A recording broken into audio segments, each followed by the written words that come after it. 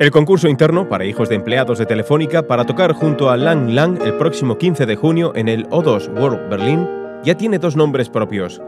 David de La Coruña y Miriam de Zaragoza. Los jóvenes pianistas eran seleccionados ayer por el propio Lang Lang de entre los cinco finalistas del concurso.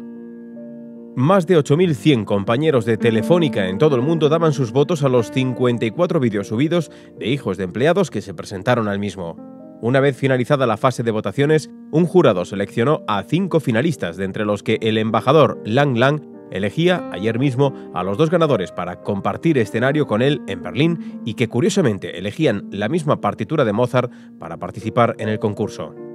Paralelamente a este concurso interno, el concurso público, organizado en los 11 países participantes, ha contado con más de 116.000 usuarios que votaban, a su vez, en la web del concurso para la selección de los otros tres jóvenes pianistas que se subirán también al escenario del O2 World Berlin junto a Lang Lang. Unas cifras muy por encima de las previsiones que vienen a demostrar el importante impacto social del prestigioso pianista y embajador de la marca telefónica en todo el mundo.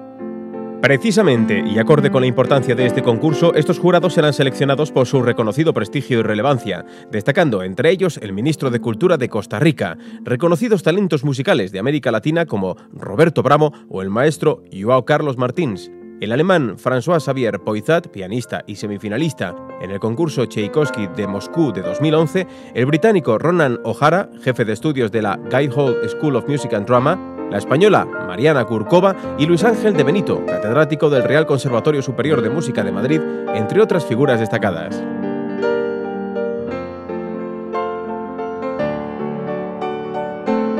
Hi, now that the inscription period is over, I want to thank you all for this incredible turnout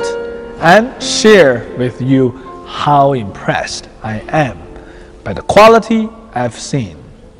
The future of classical music is guaranteed.